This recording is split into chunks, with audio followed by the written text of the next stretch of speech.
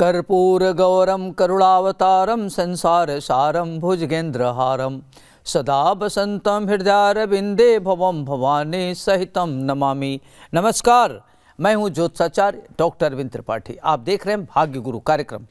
भाग्य गुरु कार्यक्रम में आपका बहुत बहुत स्वागत है। आज हम आपसे बात करेंगे कि आज की पंचांगों की स्थिति क्या है। सूर्योदय कब होगा, सूर्यास्त कब होगा, राहु काल कब है दिशाशूल कब है, कौन सा नक्षत्र है, कौन सी तिथि है, कौन सा योग है, कौन सा करण है।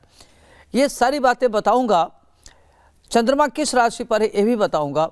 और आज का महामंत्र क्या है? महामंत्र का जब कैसे करेंगे और जब करने से आपको क्या लाभ होगा?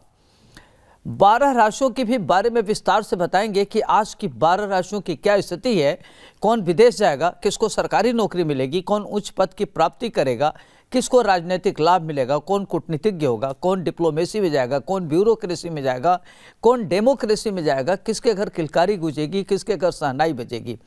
किस अंक के प्रयोग करने से आपका बड़ा भाग्योदय होगा? किस रंग के प्रयोग करने से आपके संकटों का समाधान होगा? सावधानी क्या बरतनी है? उपाय क्या करना है? ये सारी बातें हम आपको बताएँगे। गुरु के नुस्खे भी बताऊँगा, दर्शकों के प्रश्नों का उत्तर भी देंगे और आज जिनका जन्मदिन है, उनके भी बारे में बताऊँगा। आप देखते रहिए भाग्य गुरु कार्यक्रम। अब आइए हम बात करते हैं आज के महामंत्र की।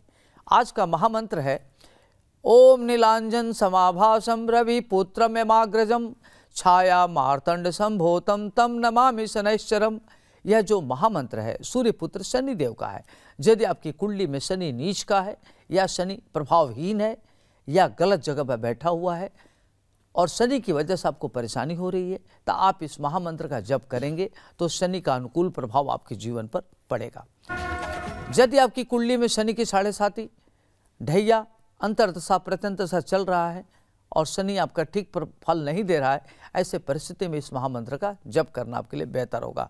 आप सफ़ेद या काले रंग का वस्त्र धारण करें और रुद्राक्ष के माला से कम से कम 21 शनिवार इस मंत्र का जप करें। आप देखेंगे आपके जीवन में उत्तरोत्तर विकास, प्रगति और चतुर्दिक प्रगति होने से आपका मन खुश रहेगा।